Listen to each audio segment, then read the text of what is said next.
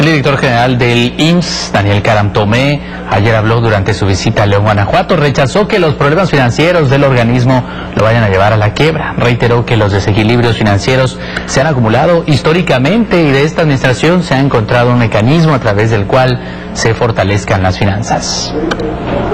¿Cuánto, cuánto deja de superávit? ¿Se puede hablar de No, de ninguna manera. El Seguro Social es una gran institución que está formada por grandes eh, mexicanos, médicos, enfermeras, personal administrativo. Es un legado de todos los mexicanos de la derechohabiencia y hay Seguro Social para rato. En el seguro de invalidez y vida y riesgos de trabajo, claramente hemos estado documentando que son seguros superavitarios. Aquel seguro que tiene un problema financiero, digamos, es seguro de enfermedad y maternidad, y reitero, con las medidas que se han tomado en esta administración de rebalanceo de las propias reservas, pues pone en una posición, digamos, de un margen de maniobra muy valioso para la próxima generación de servidores públicos para fortalecer al Seguro Social.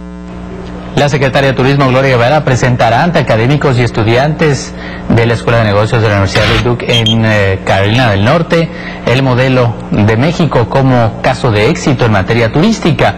Durante su participación en el Simposio de Negocios 2012 de la Asociación de Estudiantes Latinoamericanos, mostrará a la comunidad universitaria cómo se enfrentaron los retos que representó el entorno internacional durante 2009 en materia turística. Los enfrentamientos entre manifestantes y la policía estallaron ayer en España y Portugal. Bueno, estallaron hace unos días, pero ayer tomaron un tono todavía más complicado después de una jornada de huelga contra la austeridad. En Lisboa derribaron las barricadas que rodeaban el Parlamento portugués después de que protestas pacíficas se tornaran violentas. Al menos cinco personas fueron heridas y también hubo un detenido. La policía dispersó a los manifestantes que huyeron por las estrechas calles laterales y prendieron fuego los contenedores de basura. La policía atacó con balas de goma para dispersar a la gran cantidad de manifestantes. Los enfrentamientos dejaron un saldo de 192 heridos y 43 perdón, 192 detenidos y 43 heridos en los dos países, en España y en Portugal.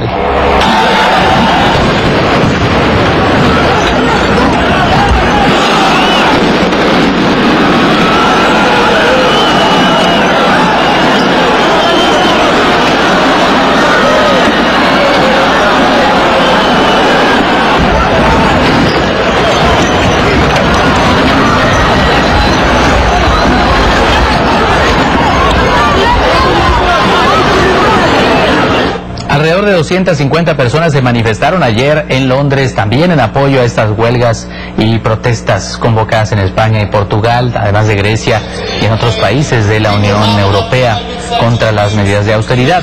Numerosos carteles proclamaban no a los recortes, movimientos de izquierda, estudiantes, sindicatos, maestros e incluso algunos políticos se solidarizaron delante de la sede de la Comisión Europea en Londres con esta protesta que tuvo eco en buena parte del continente europeo.